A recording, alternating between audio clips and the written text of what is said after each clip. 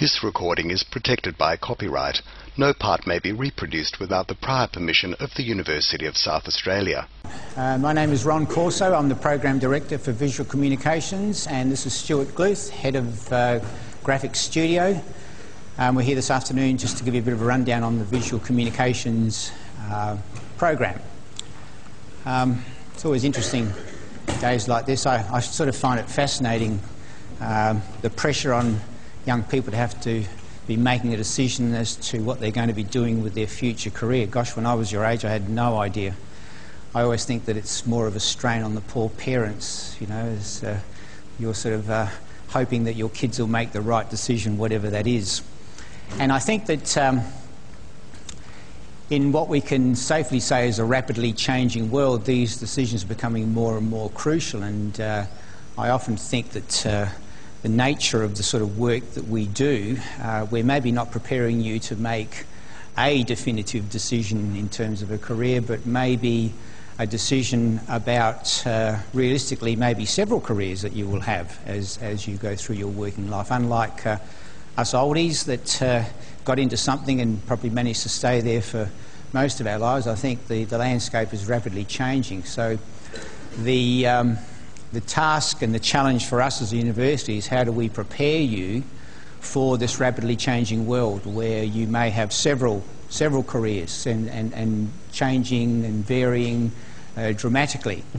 Um, overall, we'll go through the sort of details in a moment, but I think I, I, can, I can communicate to you that in essence, the, probably the most important skill that we will be uh, conveying to you is the ability to think innovatively and creatively. And uh, as a designer, that really is the most important attribute that you need to develop. And we have a very good reputation for being able to do that uh, in all of our design uh, programs. And if you have that skill, then you are able to easily adapt and modify your approach as the need arises. See, the preconceptions a lot of people have when they come into a program like this is that we're going to teach you lots of specific skills because people tend to associate graphic design or industrial design or architecture with specific skills. You know, you learn how to do these particular things, and that's true. We do that.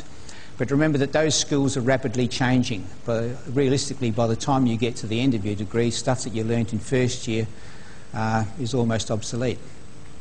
So we need to do more than that. We need to be able to give you those basic underlying skills, uh, thinking skills that will enable you to transfer your knowledge in a variety of ways.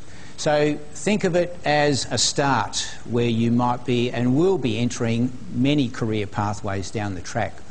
Uh, now, that probably doesn't make it much easier in terms of where you start and what you choose, but certainly if I can assure you that those underlying principles that uh, we think underpin all types of design thinking are there, then it's a pretty good start. And sort of history certainly shows us that our students are very good at being able to adapt in that way. Um, we'll make a start, Stuart, and go through uh, okay, some of the work. You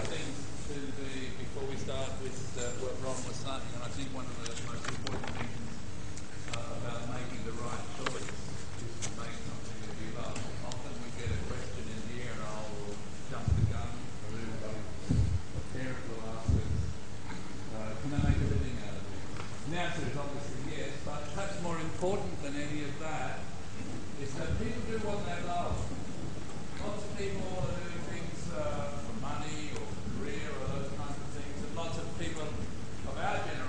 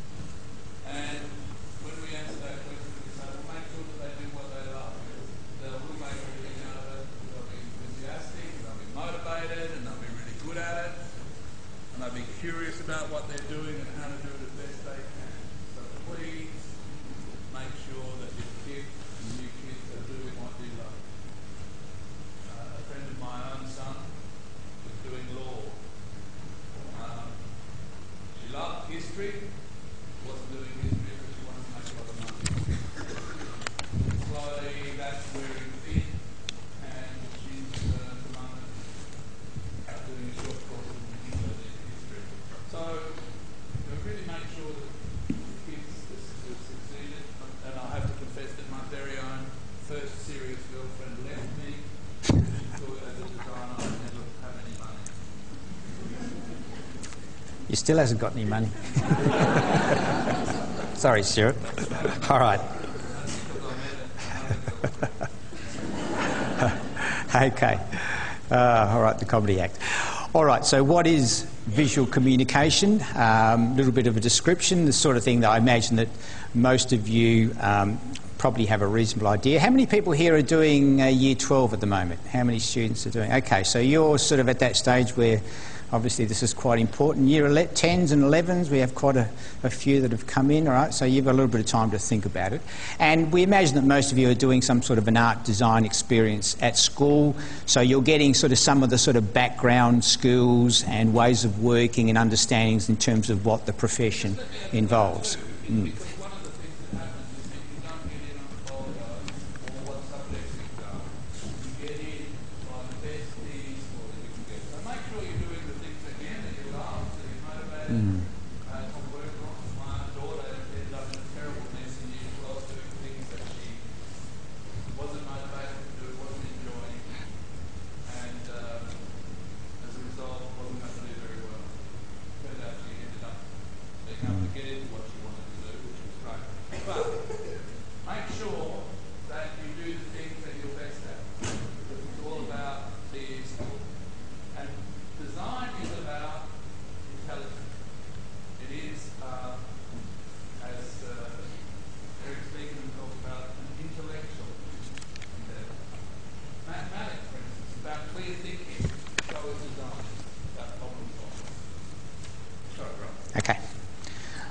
All right. Um, so, why study visual communications? Well, I suppose we do. We, yes, because you love it, absolutely. Um, but also from a more pragmatic point of view, we, we are the only uh, degree program uh, in the state, so I suppose we have a, a, little bit of a monopoly. The options are also that you can you can study visual communications, graphic design um, at TAFE. Um, we do have a cohort of uh, very highly experienced uh, and motivated staff uh, that you'll get to work with. Um, our students uh, consistently do well in uh, national and international competitions, uh, scholarships, etc. But a lot of our people working overseas in institutions, lots of exchanges. Um, you've got the option within visual communication of specialising in graphic design or illustration design. Um, and um, there is very much the it's very much a studio-based uh, approach, but it's uh, it's underpinned um, with uh, a lot of sound theory, so that your understandings of what you're doing are there. As I said, it's not just learning a bunch of skills and going out there and sort of performing. It's actually having those deep understandings in terms of what the whole thing's about, which is really important.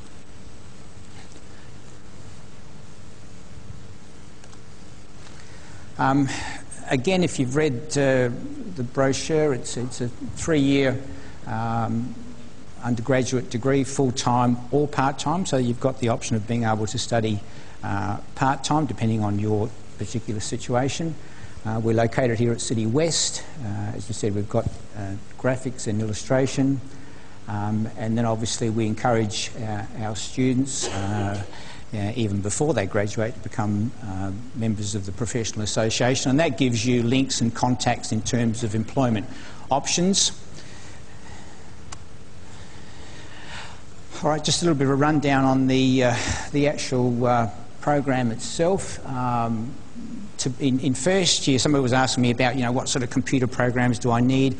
Um, we don't actually do very much with computers in the first year and a bit, uh, first half year or first semester and a bit. It's very much hands on, um, much to the relief of some people that I've spoken to. Um, so we get you to really understand the fundamentals of design. This is, this is really quite important, um, the things that sort of underpin good practice. Um, very much about communication and idea generation. The creative thinking skills are paramount, as, as we mentioned before. Um, um, research and investigation skills are very, very important in terms of being able to operate successfully as a designer. You know, again, it's not just mechanically going through the motions. You, you have to have good research skills. You have to be able to sort of get to the nub of situations and problems. You have to be able to investigate. You have to be able to be good at finding out stuff. right? which, which very much is the nature of a design way of working. Um, theoretical and cultural studies, understanding of design in society, and again, you know, a designer doesn't operate in isolation. Uh, it's one of those sort of special features of any design discipline that you, in fact, work in a very holistic way. Um, if I can pick an, you know, one example um, or a topic that's, that's uh, very, very important at the moment uh, is the notion of sustainability. Um, and it is very much uh, on the agenda of any design uh, practitioner to consider sustainability in the work that they do because, because as designers, as potential designers, you're going to be the change agents, if you like, if I can use that term. You're going to be making decisions that affect people's lives. Uh, you're the ones that are coming up with the new ideas for a whole range of things. Uh, responsible design, sustainable design is crucial because if you make a boo boo, if you make a mistake, the potential for it to be replicated um, many, many times is there. So you have a huge responsibility, and, and when you go through the program, um, we, in your theoretical studies especially, we very much emphasise this high responsibility that you, that you carry as, as a designer. Um, it's very, it's, again, having said that though, it's a very practically orientated approach. You know, the, the, theory, the philosophy is that you learn design by doing design. Okay? You can talk about it and discuss it, etc., which we do a lot of, but the essence of it is that you learn it by actually doing it. A lot of times students ask us about, well, how much time will this involve? Um, if you take Stuart's point that you're passionate about it, you put in the time that you require. Um, we can say yes, 12 to 18 hours is, is the sort of the average full-time contact. Um, plus, we'd expect at least that amount of time as well in your, in your own uh, sort of studies and investigations. But the reality is that you'll actually do a lot more than that. If you talk to any professional designers, um, they can't necessarily always give you a definitive figure in terms of how long it takes to do something. Obviously, you get more efficient with experience, but it takes as long as it takes. Uh, if you're not passionate, if you're not prepared to put the time in, if you're going to be worried about, well, this is taking too much time or I can't manage this, then maybe, you know, it's, it's not for you. Um, think about anything that you're passionate about. You don't put a time on it. You just do it because you love it. Um, but the reality is that uh, we know that most students have to work. They've got other commitments. Uh, they've got sporting endeavours. Some of you have families, etc and then you come to uni and we give you this pot. Yeah, well, whatever. Yes.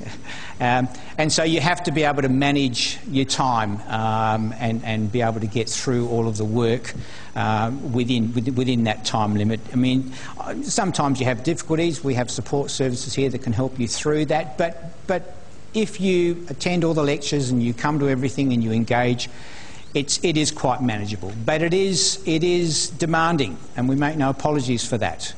Yeah. Mm. Mm.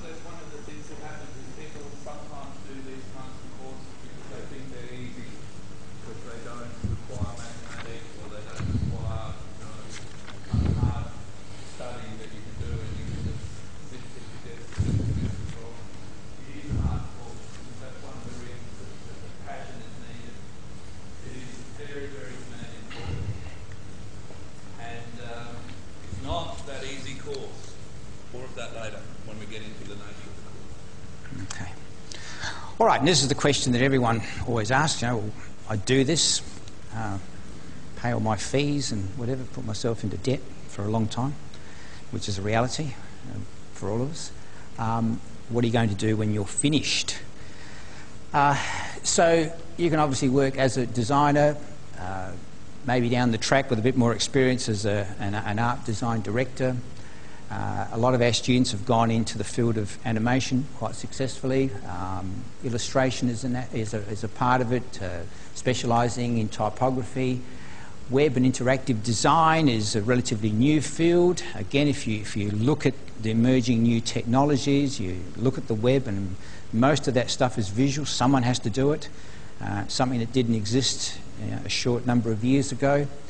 Um, you can work in the field of a managerial role, uh, and, and, we're finding that more and more those design thinking or design ways of working, and this is a term that business is beginning to pick up, you know, design thinking, okay, which, which we tended to think was only sort of relevant for sort of designers.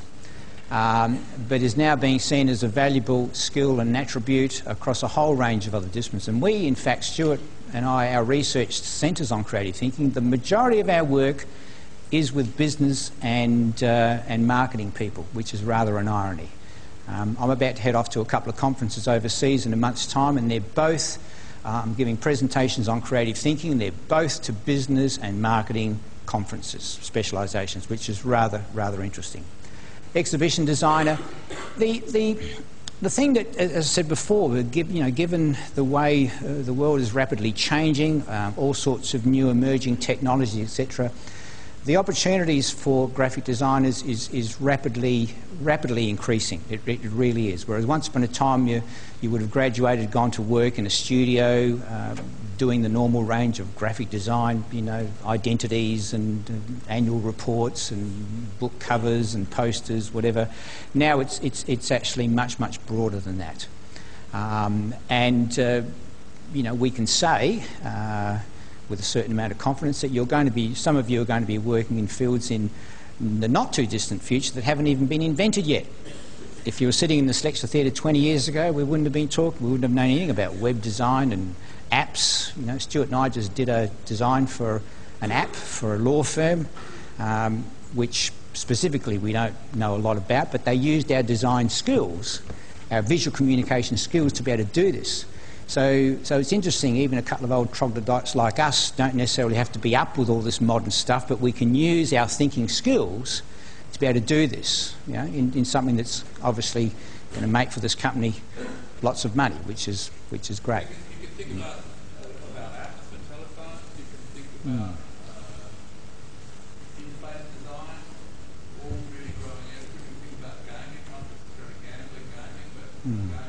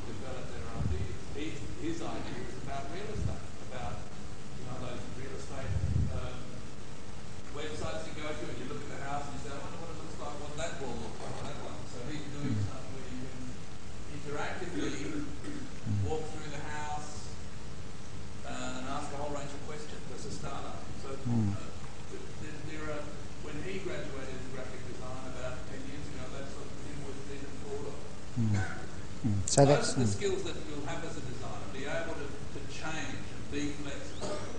I myself graduated, as did Ron, as uh, industrial designer and have used those skills that I learned there as a graphic designer ever since. Hmm. And the other, the yeah, the other interesting thing is that um, you can be self-employed. Uh, uh, pretty much even from when you graduate, which is not always possible in other design disciplines where you have to rely on a larger organisation employing you. Um, my two daughters did the program. They both now work um, in part-time jobs, but the majority of their time is spent doing their own design work. They build up a, um, a series of clients. Uh, my youngest daughter uh, does a lot of web design, and she consults with uh, book publishing. Um, so not necessarily from a design point of view, but because she's had experience in, in, in publishing her own books, she gets people then calling her now and uh, wanting advice um, and help in terms of how they might get a book published. So you can see that those skills are, are, very transferable across a whole range of areas, and you've got the opportunity to develop particular niches that you're interested in, um, and uh, you can easily work for yourself. All you need to do is have a space at home and a computer, and away you go. And clientele. All right, now we're up to the next bit. Um, okay, just a, a, bit of a testimonial from uh, one of our past um, graduates. The notion of a creative culture, I think, is interesting. Right? And you can see the word passion coming up.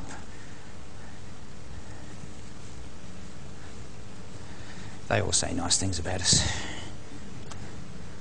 Okay. yes. Okay. So, what does it take? As I think we've covered all of these the notion of, the notion of creativity, innovation, design ways of thinking uh, motivation and discipline. You don't get anywhere without that.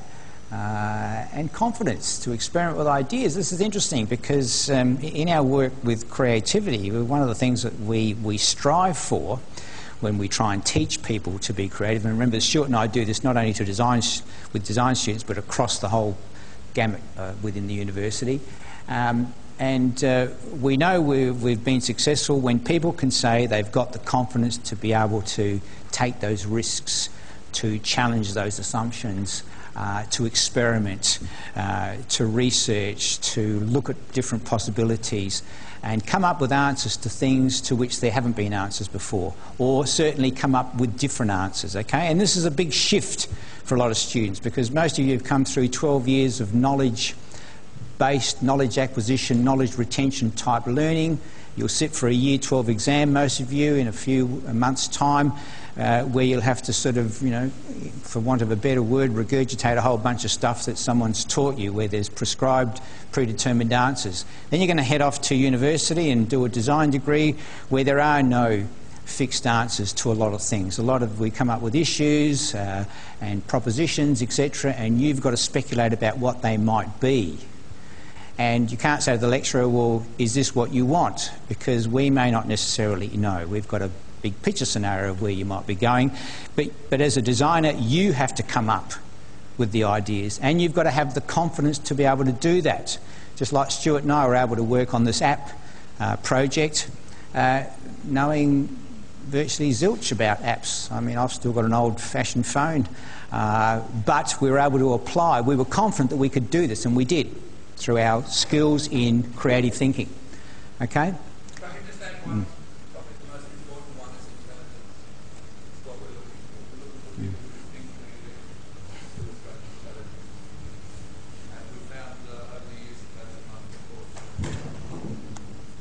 Okay, so we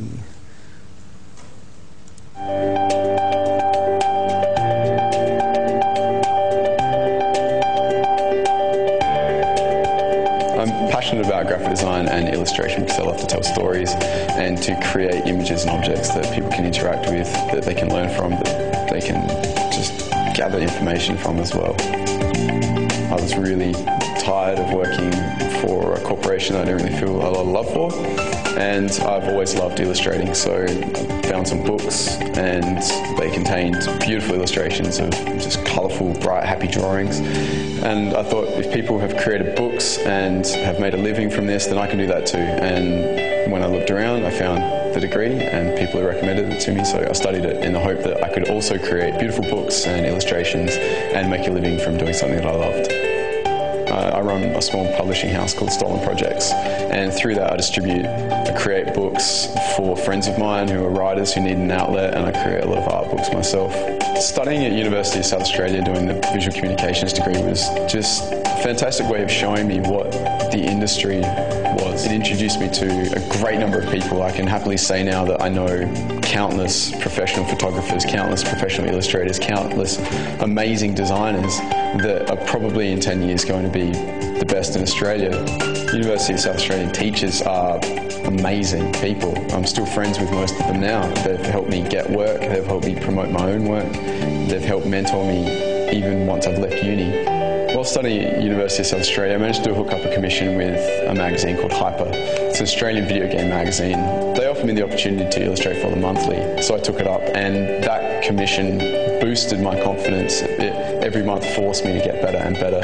And that commission has continued to run until now. It's been three years.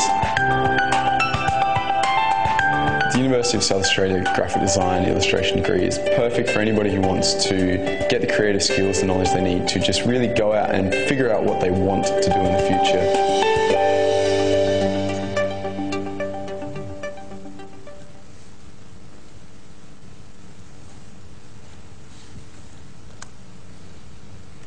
Okay. Um, entry requirements for most of you, it'll be off your year 12 score. Uh, it tends to sort of run around about the sort of mid to high 60s. Um, we do pretty much fill um, our quota with first preferences, so you have to sort of be sure that this is what you want to do. Um, there are options for some of you to come in on a mature age um, entry, um, eh, or we, if, you, if, some of you have done uh, a previous TAFE diploma, we do have articulations that if you complete your TAFE diploma or advanced diploma, we give you a certain number of uh, semesters of status or particular uh, subject or courses. And there are no prerequisites or assumed knowledge. Um, although, as I said, we assume that most of you are going to be doing some sort of uh, year 11, 12 art design experience. But, but we find there is no. In the past, we used to interview students when we had a smaller intake, and, but we found that there's really no, not much difference between people we take off the year 12 score and people that maybe come in on a portfolio.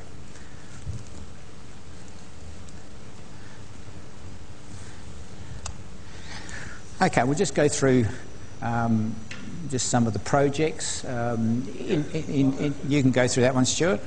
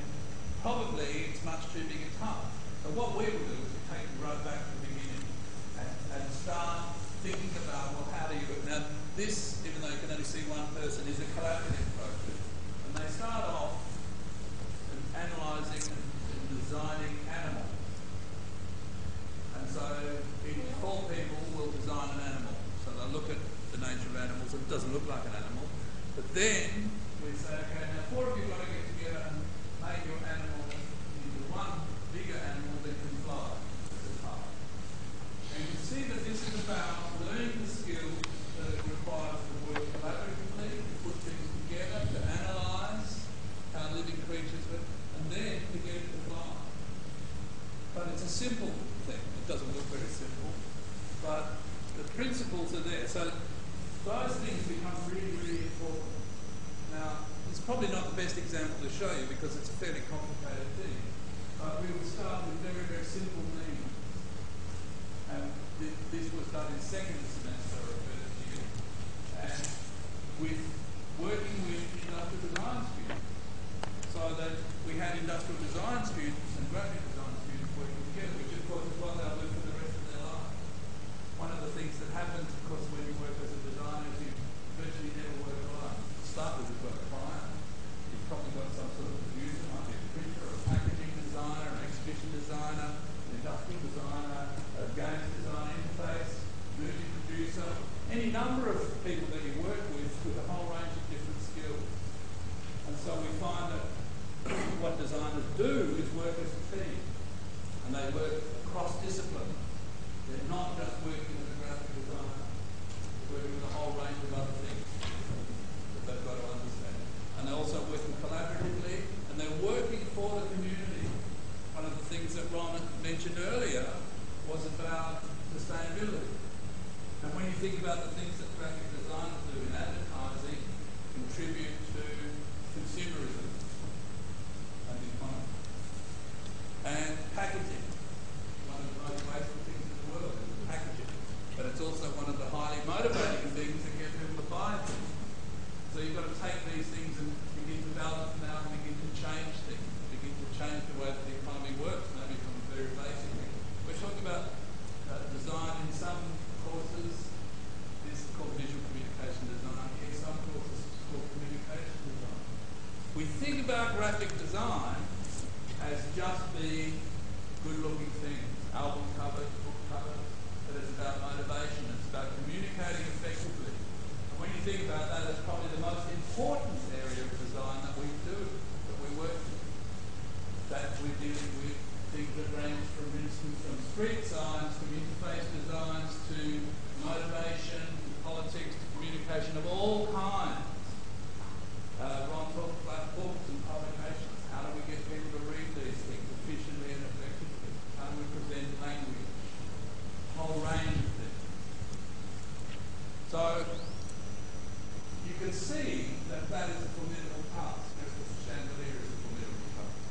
But if we begin with simple understanding of how these principles work, how to make things look interesting, how to make them uh, attractive to the eye, and then how to make them function effectively. For instance, legibility, legibility not only in type but of image and structure, a whole range of things, and then idea generation, and then you begin to build these things and slowly put them all together as you understand them all as little bits, put them together and you get to a professional level when you do. So the course is structured, as Ron said, there are no prerequisites. This is the way that it works. We take you back to really, if you like, um, visual kindergarten. Because probably, speaking about visual literacy, that's not what's taught in school. So we will introduce you to that and over the three years, or you can do another couple of years to do a master's degree, if you want to take an academic view from it, theoretically based, his- historical based, you can do an honours degree, and then a higher degree by, um, by research. There's lots of pathways and lots of things to do. I think that's the image that we want to get across. Okay, we'll keep going. Um, and again, this is uh, some illustration work. Um, the example on the left you can see sort of, illustrates what Stuart was talking about, where it, you know, we're not just about drawing pretty pictures, but it's actually having to communicate sometimes quite controversial issues. Um, and then the one on the right is just an example of some basic storyboarding that illustration students might do for gaming, motion picture, publishing industries, etc. Um, again, some illustration students' work. Um, the, um, the one on the right, um, it's, um, a, it's a children's stamp set, uh, and it's designed so it's pressure sensitive. So when you press it onto the paper, it sounds the letter and the word being stamped. So again, it goes beyond just a mere visual thing. So that we, we're talking about communication in a whole range uh, of ways. Um, some graphic design work. Um, um, example um, on, on the left uh, was part of a tourism uh, promoting uh, various capital cities. Um, one on the right um, is an example of an identity for a, a packaging uh, company. Uh, that has three branches that deals with plastics, paper, and glass um, to do with sustainable packaging. Um, again, another, another example um, on the left um, of uh, corporate identity. Uh, same, same deal, uh, an example to do with um, um, recycling and packaging. Uh, the one on the right is an interesting one. Um, this was a research project that students um, undertook, and it was to do with the issue of uh, young kids getting lost at big events. So we've got the show coming up, and, and for most of you know, that there's a, a, lost children's department at the shows because kids tend to sort of wander off and, and become lost. Um, so we looked at the whole, students researched this whole sort of phenomena, if you like. And part of it involved uh, kids having a, a, little tag and a soft toy, so that if they actually did get lost, they actually identified with this little toy and it provided a sort of form of comforting.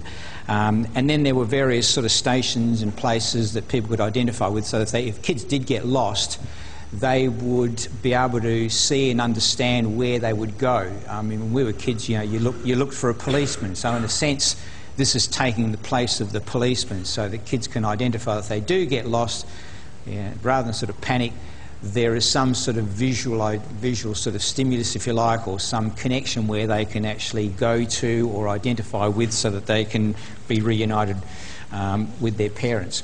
So you can see the level of thinking that's involved in, in something like this at a, at a number of, uh, of, of, different ways.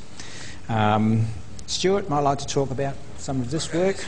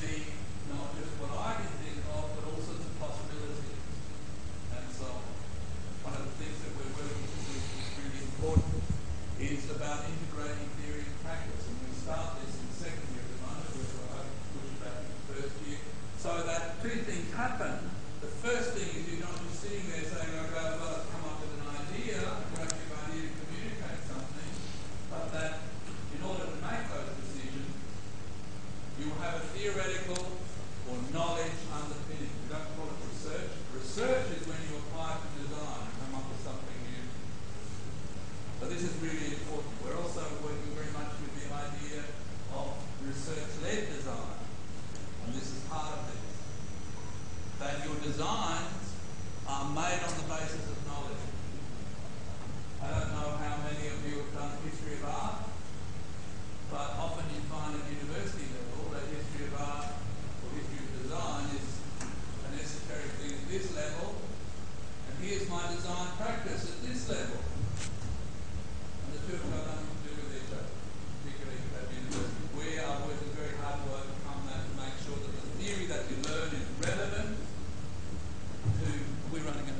about. The theory that you, that you learn is relevant to your design practice, and that your design practice is based on underlying knowledge of the theory.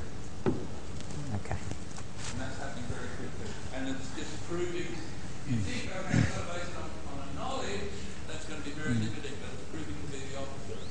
Proving that the kid's creativity goes through the roof. Okay, need to go back. All right, now if you think you might be interested uh, in maybe pursuing a career uh, in any of the design fields, but especially visual communications, we've got Design West on uh, 20th of September where we'll go into this in more detail. There'll be more detailed exhibitions, uh, student work, etc. Uh, yep, you can pick up one of those. Yep. Okay, and to finish off, uh, how many, who's on Facebook? Hands up. Okay. Um, Facebook's one of those interesting things, you know. People either sort of embrace it, and uh, or, and people don't think that uh, we sort of use it in an educational context, but we do. Um, I suppose you know um, we've followed the theory that if you can't beat them, join them. So I use Facebook in part of my teaching, and I have a site called Unearthing Ideas. Now, if you want a snapshot in terms of what students do in my particular class, classes that I run, classes on creative thinking, you can go into that and you'll be able to have a look at some examples of some of the project work, comments, discussions, etc., which gives you some insights. And in the past, it's been a good forum because potential students such as yourselves have been able to ask questions, and it's actually nice if then other students answer those questions rather than. Mm. Yeah, so rather than having to listen to us giving you stuff, uh, so we're about to wind up. So if you want to have a look at uh, some more details in terms of what we do, Unearthing Ideas and Design West on the 20th. Uh, Please come and have a look at where you will end up with this course. The student, graduate, the undergraduate students, bachelors, uh, bachelor of digital communication and illustration will be on here in the Kaurna building on level four in the Kaurna building from Tuesday the 26th of November until Friday the 6th of, November, of uh, December. Make sure you come early. Sometimes the students take their, their, uh, their work away to show a prospective employer. 26th of November, Kaurna building, the next building. Sorry? Yeah, yeah, we're finishing now. And make sure you come and see where you're going to end up. It'll give you a really interesting insight. You'll be able to talk with the students that have graduated. Okay, thanks everyone. Um, if you got any